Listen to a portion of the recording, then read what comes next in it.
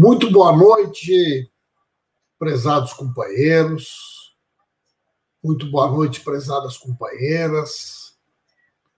Muito boa noite, queridos amigos e amigas de todo o Brasil que nos acompanham aqui no canal da Resistência, que nos acompanham no Facebook, que nos acompanham no YouTube, que nos acompanham no Twitter. Sejam todos muito bem-vindos.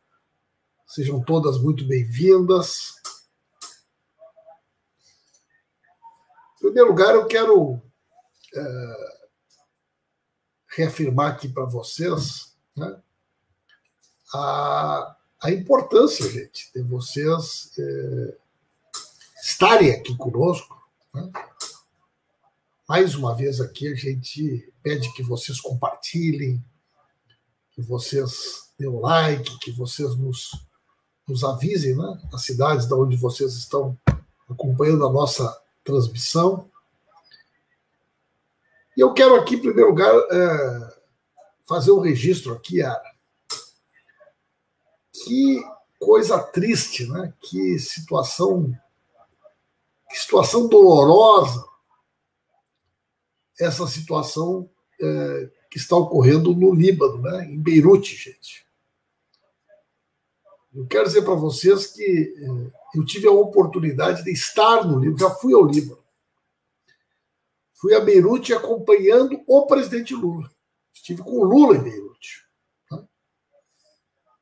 E na época, quando nós fomos a Beirute, quando nós fomos ao Oriente Médio, nós fomos visitar uma, uma região muito bonita que estava sendo reconstruída fruto da guerra ah, que tinha ocorrido naquela região. Beirute foi praticamente destruída durante a guerra. Eu tive a oportunidade de visitar Beirute com o presidente Lula. Na época, ela primeiro-ministro do Líbano, Rafif Hariri. E depois acabou sendo morto num um atentado contra um comboio que acabou atingindo ele. Então, é, quando eu vi hoje aquela explosão, me veio na lembrança todo aquele trabalho de reconstrução. E as vítimas, né, gente? As vítimas, quantas famílias, quantas pessoas, são milhares, milhares de pessoas feridas. Eu tenho a impressão que as pessoas ainda nem têm a noção exata, né? A noção exata da, da dimensão daquela tragédia. Né? Então, quero aqui, Regina Costa, deixar a minha solidariedade. Né? O Brasil tem uma grande colônia libanesa, o Brasil tem uma grande colônia de sírios e de libaneses. Né? O povo libanês é um povo que tem um amor enorme pelo Brasil. Muitos libaneses que residem no Brasil têm seus parentes ainda no Líbano. Né? E hoje é um dia muito triste para todos nós. Né? Um dia muito triste para todos nós. Eu confesso para vocês né, a minha perplexidade, a minha tristeza, uma dimensão né, dessa tragédia que atingiu o Oriente Médio, particularmente ao Líbano, né, no dia de hoje. Então fica aqui a minha solidariedade, tá? e o meu abraço a todas as famílias, a todas as pessoas que que tem seus parentes, seus amigos aí que acabaram sendo atingidos de forma tão violenta por essa tragédia. Né? Eu quero que vocês me digam uma cidade da onde vocês acompanham. Né? É, quero que vocês me digam como é que está chegando a qualidade do áudio, como é que está chegando a qualidade do vídeo. Né? Eu, é, até agora, Regina, eu não vi ainda nenhuma notícia, Janete, minha querida amiga Janete, eu não vi nenhuma notícia ainda conclusiva sobre as causas da, da, da explosão, das explosões. Eu não vi ainda nenhuma notícia, gente, sobre as causas das, da explosão. Olha o número aí, gente. Ó, esse é o nosso, nossos, nossos grupos da rede da resistência. Você quer receber informação atualizada sobre tudo aquilo que nós estamos publicando, nós estamos divulgando no, nas redes da resistência? Se cadastre aí, é 619 8147 7009. 98147 981477009. Né? Então, quero pedir que ainda não se, não se cadastrou, que se cadastre. Né? São grupos para receber informação. Né? Não são grupos de debate, não são grupos de discussão, mas você vai ficar atualizado. 61 98147 7009. Né? Quem ainda não deu like, Selene, minha querida amiga Selene, seja muito bem-vinda. Né? Quem ainda não deu um like, pode dar um like. Quem ainda não compartilhou, pode compartilhar. Né? Uh, eu vi aqui uma notícia que Pimenta nunca pronunciou o meu nome. Almeri Nascimento. Almeri Nascimento. Pimenta nunca pronunciou meu nome. É verdade, Almeri, nunca pronunciei teu nome. Almeri. Nunca pronunciei. Né? ah, meu Deus do céu. Eu, eu, tento ler o nome de todo mundo, gente. Por isso, até agora que eu estou botando até os óculos aqui na live, para eu poder enxergar melhor. Sabe que no início dessa pandemia eu não estava usando óculos direto. Mas agora, sem óculos, eu não enxergo mais nada. Não enxergo mais nada. Né? Então agora eu tenho que usar os óculos também na live. Né? E a cidade, gente, a cidade de vocês. Estou vendo o José Ronaldo aqui, que é de Fortaleza, estou vendo a Cida, que é de Três Pontas, Minas Gerais. Né? É... Mas, gente, olha só, eu, eu queria conversar com vocês. A, a defesa do presidente Lula, a defesa do presidente Lula teve duas vitórias muito importantes hoje no Supremo Tribunal Federal. Coisa muito rara, né, gente? A defesa do Lula ter vitórias no Supremo Tribunal Federal é algo muito raro. E hoje tivemos duas vitórias importantes. Duas vitórias muito importantes. Né? A primeira, há muito tempo, há muito tempo, a defesa do presidente Lula tentava ter acesso ao conteúdo da delação do acordo de leniência da Odebrecht. O que é o acordo de leniência? O acordo de leniência é a delação da pessoa jurídica. Por incrível que pareça, a Lava Jato alega que extraiu as informações para denunciar o presidente Lula de documentos que foram entregues pelo Odebrecht, mas a defesa do Lula nunca teve acesso a esses documentos. Segundo a Odebrecht, os números, as informações que eles utilizam foram extraídas de planilhas. Mas a defesa do presidente Lula nunca teve acesso a essas planilhas. É uma coisa totalmente sui generis, uma coisa inusitada. Né? Uma coisa totalmente inusitada. É... Então, o Faquin havia negado também no STF Olha, foi o Moro negou, o TRF4 negou, o STJ negou, o relator, o Faquin negou. Hoje foi para a turma e a turma aprovou. E deu direito ao presidente Lula a uma coisa elementar, gente. Deu direito ao presidente Lula a uma coisa elementar, que é ter direito a ter acesso. A defesa tem que ter acesso às provas, gente. Então é elementar o que o STF decidiu hoje. Elementar. Mas, para a defesa do presidente Lula, é muito importante. É muito importante. Né? Eva Lúcia Itupaciretã, seja muito bem-vinda. Maria Viviane, boa noite. Chica Dorn, bem-vinda. Maria Luísa Perpétuo, bem-vinda. Yara Pinto, lá do Rio de Janeiro. Né? Então, gente, ó, 1 a 0 para nós hoje no STF, 1 a 0 contra a Lava Jato, 1 a 0 para o Lula decidiram. O Moro tinha negado, Marta Torres, um abraço para o Fifico Seabra, do Crato, do Ceará. O Moro negou, o TRF4 negou, o STJ negou, o Faquin negou. Hoje a turma pá, tem direito, direito a ver as provas. A que ponto nós chegamos? A que ponto nós chegamos? Raquel Aguirre. A defesa do Lula tem que festejar que vai ter direito a, ver, a, a, vai ter acesso às provas. A que ponto nós chegamos? Né? E a outra decisão, gente, a outra decisão é importantíssima. A justiça mandou retirar, retirar da acusação contra o presidente Lula a delação do Palocci. Irineu Trindade, lá da Bahia. Né? Cícero Dantas, da Bahia.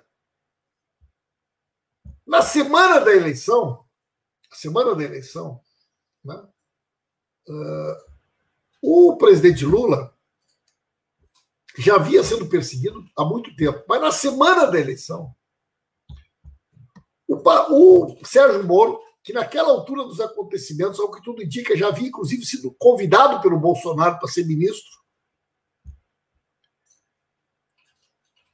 né, ele autoriza a divulgação para a imprensa, na semana da eleição, de uma delação fajuta do Palocci que havia sido rejeitada pelo Ministério Público Federal por falta de provas.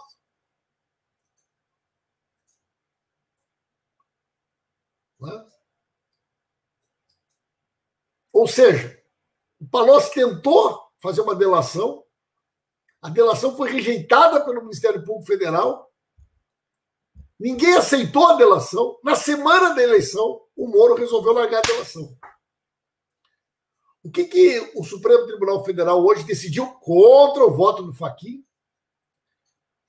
Que o Moro se utilizou do cargo. Que o Moro se utilizou do cargo para criar um fato. Para criar um fato que tivesse repercussão política na semana da eleição. E, portanto, o Supremo Tribunal Federal reconheceu hoje, pela primeira vez, reconheceu numa decisão que o Moro não agiu de maneira isenta, que o Moro não agiu como juiz e, na semana da eleição, autorizou a divulgação do Palocci. É uma vitória importantíssima, gente. É a primeira vez que o Supremo Tribunal Federal reconhece que faltou isenção que faltou isenção né, para agir como juiz. Regina Célia Lopes faz a primeira. É verdade que o PT vai votar no Rodrigo Maia? Regina Célia Lopes. Rodrigo Maia não, sequer pode ser candidato. A Constituição Federal veda a possibilidade de alguém ser reconduzido a presidente da Câmara. Na mesma legislatura, Regina. Célia Lopes. Portanto, a tua dúvida está resolvida. Não existe, a Constituição veda a possibilidade disso ocorrer, certo? Então é muito importante, muito importante a decisão com relação à delação do Palocci, não menos importante né, a, a decisão de dar ao presidente Lula de garantir ao presidente Lula o acesso às provas. Eu, eu fico perplexo, né? Fico perplexo porque alguém tem que é, comemorar que vai poder ter acesso às provas. Né? Mas é um avanço, Nuxa, é um avanço importante. Né? Para quem nunca tinha tido nenhuma vitória no Supremo Tribunal Federal, ter duas num dia, naturalmente que a gente deve fazer esse registro. Né? Até porque nós queremos que o julgamento do, da isenção do habeas corpus, que questiona a, a, a isenção, ela, né, ela naturalmente é, tem que ser julgada logo, tem que ser julgada logo. Né? Meus queridos companheiros e companheiras, por gentileza, me informem a cidade onde vocês estão acompanhando. Quem ainda não curtiu, pode curtir. Quem ainda não deu like, deu like. Quem ainda não compartilhou, pode compartilhar. Coloque a hashtag aí, farsa jato. Coloque a hashtag farsa jato. Coloque a hashtag farsa jato. Né? Para a gente poder acompanhar aqui esse feedback, esse retorno de vocês. Voltando aqui a falar sobre o episódio lá de Beirute, no Líbano. Alguém fez um comentário aqui muito interessante, acho que foi, né, foi a Regina lá de Dom Pedrito, que tinha um libanês que morava lá em Dom Pedrito. Aliás, Regina, Dom Pedrito foi a cidade que nasceu meu pai, né? Dom Pedrito, lá no interior do Rio Grande do Sul. Meu pai nasceu em Dom Pedrito e a minha mãe nasceu no Alegrete, né? E eu em Santa Maria. Muito bem. Então, é, chamavam esse libanês de turco. Quase todos os libaneses e os sírios que vieram para o Brasil, e, e, são milhões de famílias, milhões de famílias de sírios e de libaneses no Brasil, eles vieram para o Brasil né, uh, numa época, principalmente após o fim da Primeira Guerra Mundial, né, e naquele período, para que eles pudessem vir para o Brasil, eles tiravam o passaporte na Turquia para poder viajar. Né? Eles tinham que tirar passaporte na Turquia. É... E então, eles viajavam e ficaram, ficaram conhecidos como turcos. Né? Apesar de serem sírios libaneses, que tem milhões de famílias de sírios libaneses no Brasil, popularmente eles ficaram conhecidos como ah, os, ah, o turco. O turco é dono da loja tal, o turco é dono da loja tal, né? ao turco fulano. Mas, na realidade, isso era porque o passaporte, passaporte que eles viajavam, era emitido na Turquia. Mas não que eles sejam turcos de nascimento. Até porque turco é uma expressão é, mais ampla do que só as pessoas que, que nascem na Turquia. E, e, quando eu tive em Beirute, cara, com o presidente Lula, gente, foi uma viagem incrível. Eu, eu, eu tive na Síria com Lula, tive no Egito, tive na Líbia, tive nos Emirados Árabes, tive a oportunidade de visitar uh, acampamentos palestinos. E hoje, gente, hoje, 4 de agosto, é a data também é, que se quer celebrado o aniversário do Yasser Arafat. Yasser Arafat, né? Marta Torres. E eu acho que eu nunca contei para vocês, acho que eu nunca contei para vocês que eu é, tive a honra, tive a honra de representar o Brasil nos funerais do Yasser Arafat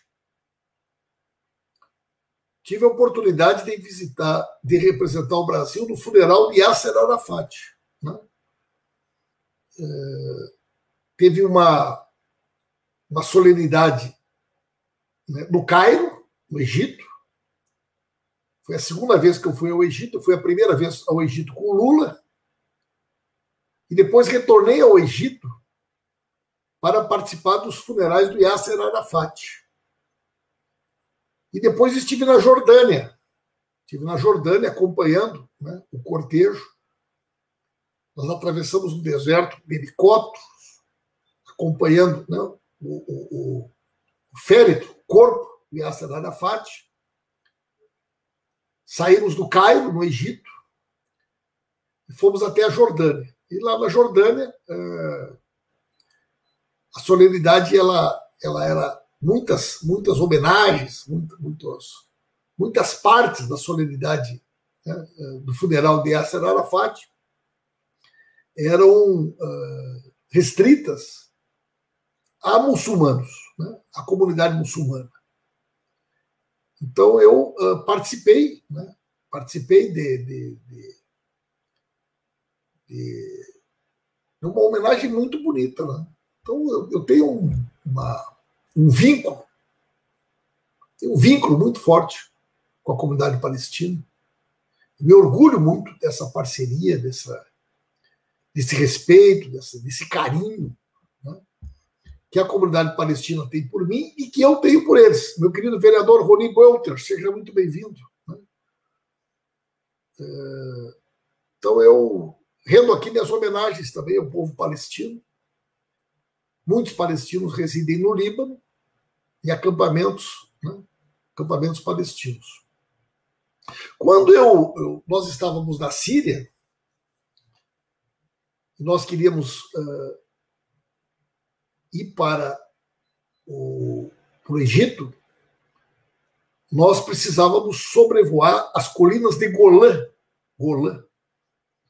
E não recebemos autorização de Israel para que o avião presidencial pudesse sobrevoar as colinas de Golã.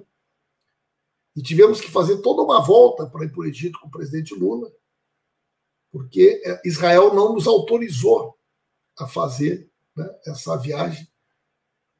E o presidente Lula sempre foi um grande, um grande parceiro do mundo árabe, né? especialmente da causa palestina, e, e, um grande amigo do Yasser Arafat. Né? Yasser Arafat. Então, eu, eu, Fidel Castro, Yasser Arafat, Nelson Mandela e o presidente Luiz Inácio Lula da Silva, sem dúvida alguma, são algumas das grandes personalidades políticas do mundo no final do século XX, início do século XXI. Né? E eram, e eram, minha querida amiga Teia, grandes amigos. Né? Yasser Arafat, Nelson Mandela, Luiz Inácio Lula da Silva, Fidel Castro. Né? Então fica aqui, fica aqui minha homenagem, né, uh, Regina? Fica aqui minha homenagem a toda a comunidade, a comunidade síria e libanesa. Né? Marilena Pavan, estou cada vez mais precisando usar os óculos. Né? É a idade, né, gente? É a idade. Chega uma hora, Francisco Brito, que a gente não não escapa, né? Eu, no início da pandemia, não não estava usando tantos óculos. Eu acho que de tanto usar o computador, o celular, também foi. Eu fui no oculista e falou que é vista cansada. Vista cansada. Né? E deve estar cansada mesmo, né? Porque são tantos anos olhando para tudo que é lado, lendo curioso. Né? Então, acho que eu gastei muito meus, gastei muito meus olhos. Né? Quando eu era criança, o pessoal dizia que a gente comesse muita cenoura, comesse cenoura e, e se comesse formiga. Se comesse cenoura e se comesse formiga, fazia bem para os olhos. Eu comia muita cenoura e comia muita formiga também. Pegava formiga, você come formiga que é bom para os olhos? Tá bom, comer formiga. Come cenoura que é bom para os olhos? Vai. Formiga, formiguinha. Vai lá para cá essas formigas aí, né? Até tem que dar risada me lembrar dessa história. Me lembro lá numa casa que a gente morava lá em Santa Maria, e, e essas coisas que a gente fazia, né, quando era, quando era criança, né? Meus queridos amigos, minhas queridas amigas, se tem fundamento nessa história, eu não sei se tem fundamento. Não. A cenoura. Uh, não sei se é verdade, né? uh, José. Cenoura é verdade, cenoura faz bem para os olhos. Paulo. Paulo Tamanduades, Rodrigo. Ah, café com açúcar, tá cheio de formiga, açúcar tá cheio de formiga, é isso. Ai, ai, ai, ai. É bom, é bom, Marlene. Obrigado, Marlene. Marlene. Uh, Neiva Menezes, Paulo indica para os inscritos do canal uh, Paulo indica para os, os inscritos do canal do Lula. Lá, vamos lá no canal do Lula. Vamos lá no canal do Lula, do YouTube, gente. Vamos fortalecer o canal do presidente Lula. Né? Outra notícia hoje que eu achei interessante, gente, que a polícia conseguiu identificar os, os autores, da, os proprietários das páginas que festejaram a morte do neto do presidente Lula. Festejaram a, no, a, a morte do pequeno Arthur. Né? E Marcos Salles, lá de Trabandaí, seja muito bem-vindo. O cenoura tem vitamina A, é bom para os olhos. Aí, ó, Carlos, obrigado. A nossa página aqui, gente, a nossa página aqui é cultura, a nossa página aqui é aprendizagem. A gente aprende muita coisa. Eu aprendo muita coisa, vocês não têm ideia. Numa live dessas, o que eu aprendo de coisa, que eu já aprendi de coisa aqui com vocês. tem um componente que é o ácido retinóico, que tem a ver com a vitamina A, que é bom. Nada de suplemento exagero. É fake que funciona para fumantes. Obrigado, Valéria. Olha aí, ó. Olha aí, ó. Tá aí, ó. Tá aí, ó. Valéria Souza dando aula para nós. Obrigado, Valéria. Obrigado, Valéria.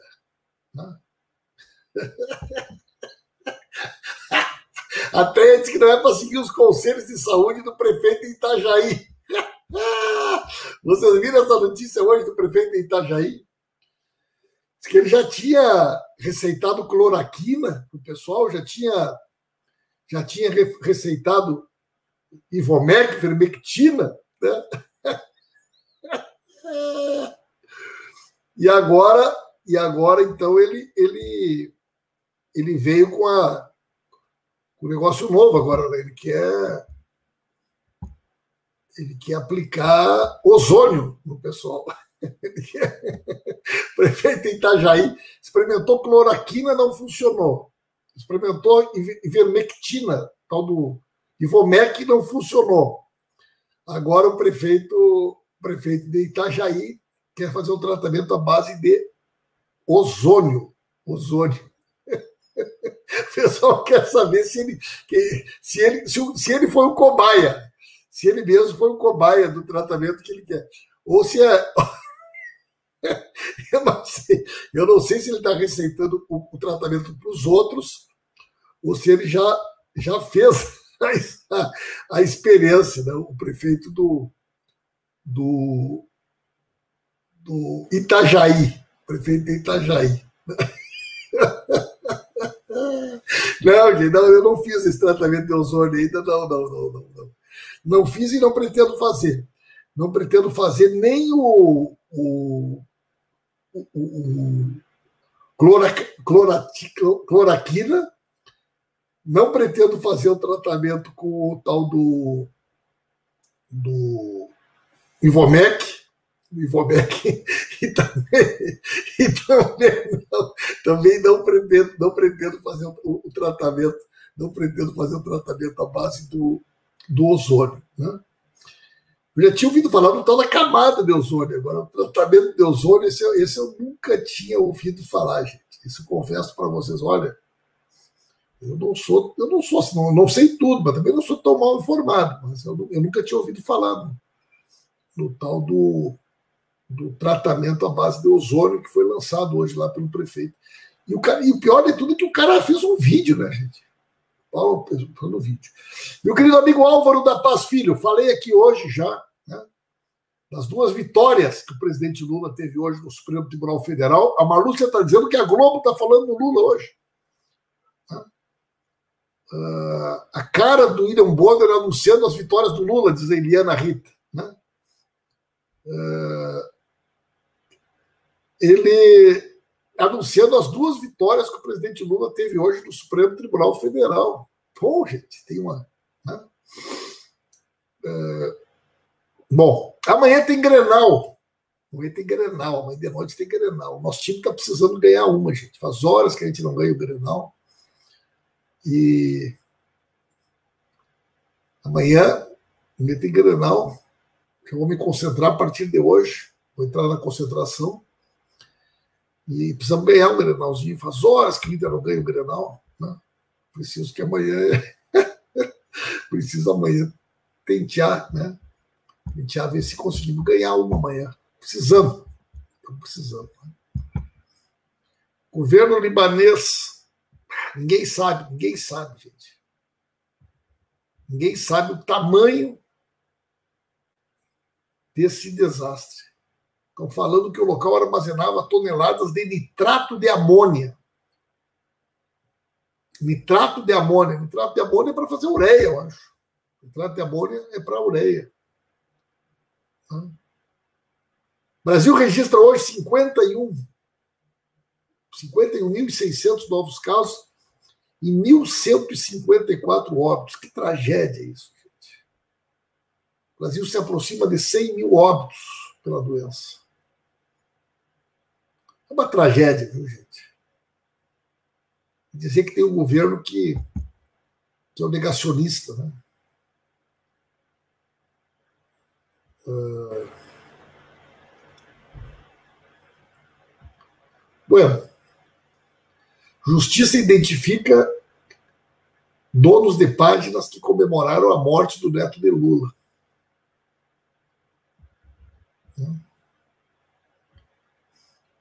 Fernando Haddad, descendente de libaneses, lamenta a explosão do porto de Beirute. Beirute.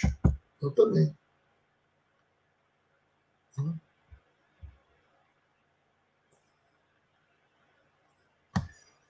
Eu vi, eu vi essa notícia aqui, achei terrível também.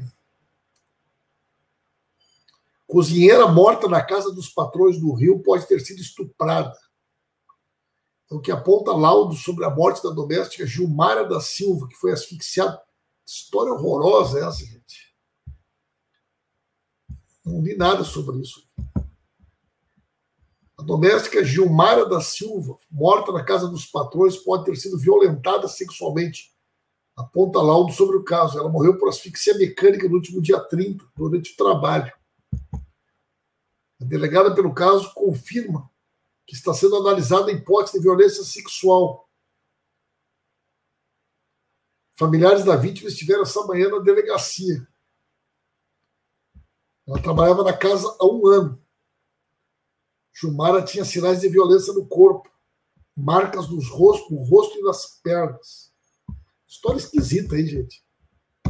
História esquisita e mal contada, hein? História esquisita e mal contada. Né? É isso, gente. Então, boa noite para vocês. Eliana Rita mora em Belém, capital. SOS Amazônia, fora Salles, com toda certeza. Né? Luzia Cristina Vilela, Paulo Pimenta PT, muito obrigado, Luzia Cristina Vilela. Né? Palmeiras decide o título com o Corinthians. E amanhã tem na semifinal um Grenal. Uh... É isso aí. Muito boa noite, então, gente. Muito boa noite, prezados companheiros. Muito boa noite, prezadas companheiras. É, olha aqui, ó, Ciências, Ciências Humanas TV. Uh, Peço que a galera participe da minha live às 21 horas. Canal Questionamentos do professor Carlito Araújo. O nome do canal é Ciências Humanas TV. Como é que é o nome do canal? Como é que é o Ciências Humanas TV? Visitem lá o canal Ciências Humanas TV. O companheiro está sempre aqui nas nossas lives.